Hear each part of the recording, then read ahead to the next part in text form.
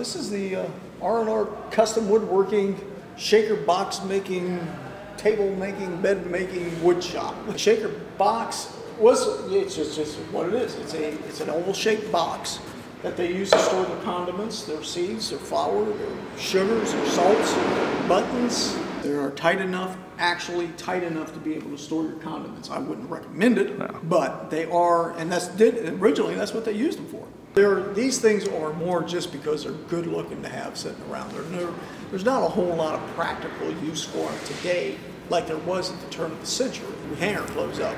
Yeah. You know, everybody's got closets full of clothes and you know dressers and that. At that point in time, they they didn't have a lot of that stuff.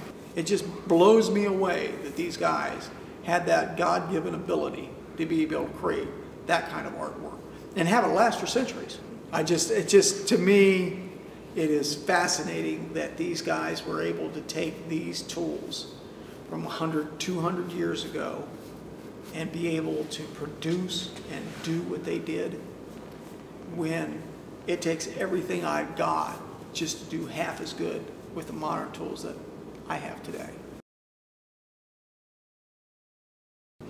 And even then, I still screw them up all the time.